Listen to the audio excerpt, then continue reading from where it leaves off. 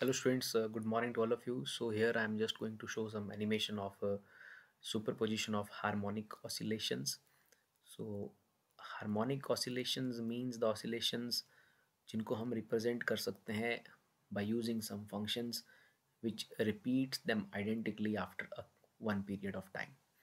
For example, sine functions and cosine functions so they represent the harmonic oscillations for example here we have two sine waves and uh, one of equation is like y1 is equal to ym sine 2 pi f1 t so this is a sine wave and again the second one is y is equal to ym sine 2 pi f2 t so here दोनों जो waves हैं हमारे पास both the waves have a same amplitudes उनका जो maximum displacement है it is ym ym but varying different frequencies like F one and F two and एक wave की जो डिस्प्लेसमेंट है that is represented by Y one and दूसरे की Y to यहाँ पर इन्हें शो किया गया है that Y one is with blue colour और आप यहाँ पर देखेंगे वेव को भी it is with that blue colour and the other wave is with that red colour so यहाँ हम समझ रहे हैं superposition of these harmonic oscillations so superposition principle के according the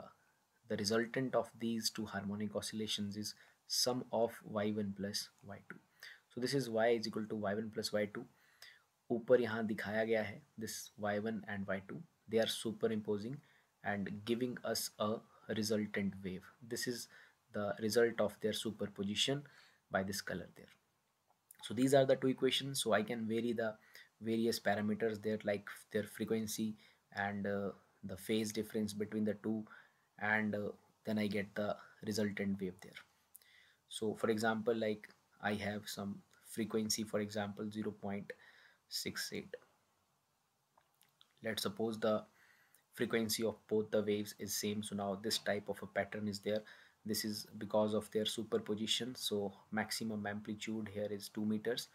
Amplitude of uh, each wave is taken as maximum amplitude means maximum displacement is 1 meter for each so this is their resultant. And uh, for example let's suppose there is no phase difference between the two then this type of a result we obtain. So as uh, for example at some particular position displacement of one wave is 0.80 other wave is 0.80 also. So there is no phase difference. Both are of same frequencies now in this condition. So this is the maximum resultant there. That is 1.60 there. So by varying the phase difference we get different type of uh, resultant there.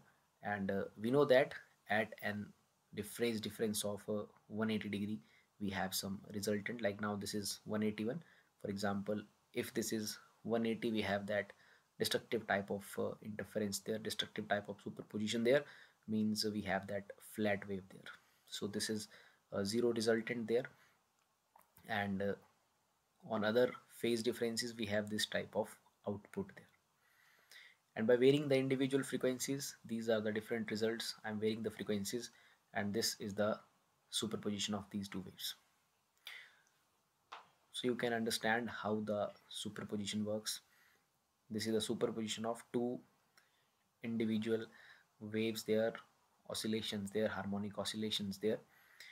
Y1 is equal to ym sine 2 pi f1 t and y2 is equal to ym sine 2 pi f2 t so by varying the frequencies and all other parameters like phase differences between the two oscillations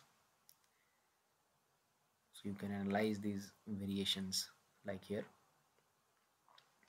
and we also know the uh, parameters there like at this instant of time like at 56.4 seconds what is the displacement of first wave at this position like अलग अलग positions पे हम check कर सकते हैं for example at this position we have this type of t is equal to 37.3 seconds y1 is 0.96 meters y2 is 1 meter. This is their resultant and some of the points we have this type of output.